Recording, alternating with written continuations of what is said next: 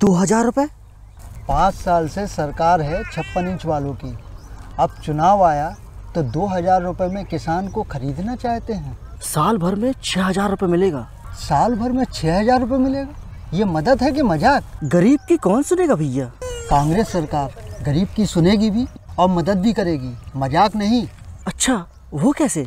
हर महीने छः हज़ार रुपये की मदद घर की महिला के खाते में पहुंचेगी। मतलब साल के बहत्तर हज़ार। लेकिन ये मदद मिलेगी कैसे?